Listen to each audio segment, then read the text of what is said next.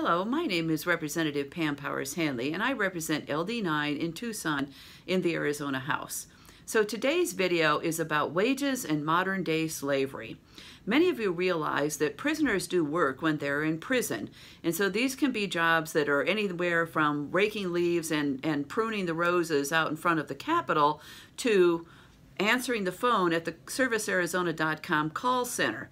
You might not realize that when you call Service Arizona with some sort of an issue with your driver's license or your license plates, or you want to figure out where their address is, that the first person who answers the phone is not a state worker, well, they are kind of a state worker, but the first person who answers the phone is a prisoner.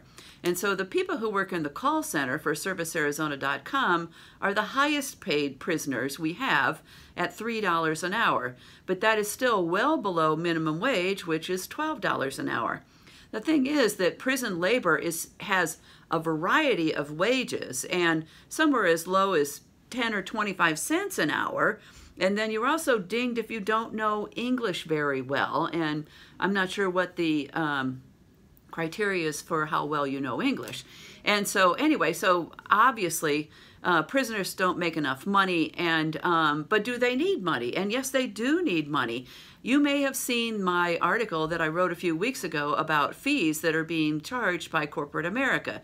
These are the bank fees, the insurance fees, the uh, the uh, apartment complex fees, the university fees, there's a lot of fees. Well, prisoners get charged fees even though they're stuck in jail or in prison. And so, for example, when you are put into prison, you get one orange jumpsuit for free. And then if you need another one, you're going to have to buy it. Also, if you want to see the doctor, you have to pay a fee to see the doctor uh, in order to get the appointment. So they have to accumulate money in their accounts um, to do this.